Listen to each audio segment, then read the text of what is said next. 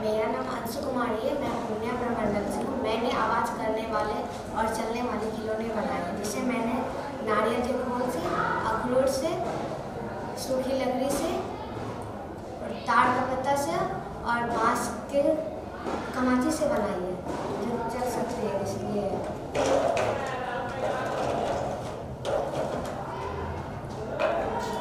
आवाज़ करती है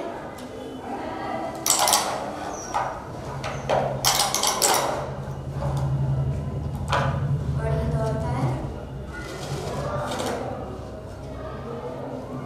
ये भी आवाज़ करता है डबली आगे थोड़ा ये कछुआ है ये भी आवाज़ करता है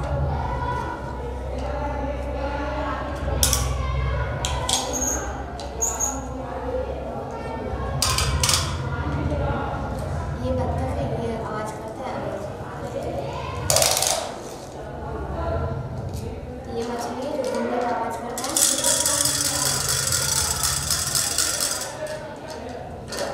ये मकड़ी है ये भी भागता है।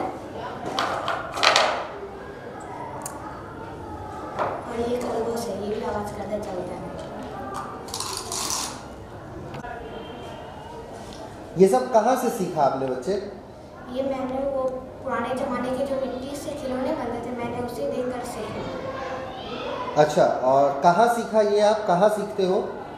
ये मेरी शिक्षिका बताती है और थोड़ा घर में सीखती थोड़ा थोड़ा घर में सीखे खुद से भी कुछ नया बनाने का कभी कुछ टीचर ने बताया एक चीज़ और खुद से भी कुछ बनाए हो क्या? इसमें से कौन सा आइटम है जो आप खुद सोच के और खुद बनाए हो? आपने खुद सोचा और खुद बनाया है। ठीक है ये आइडिया आया कहाँ से आपके पास? जो पुराने ज़माने के खिलौने थे उसे ही देख के अच्छा उसी को देख के आया। ठीक है।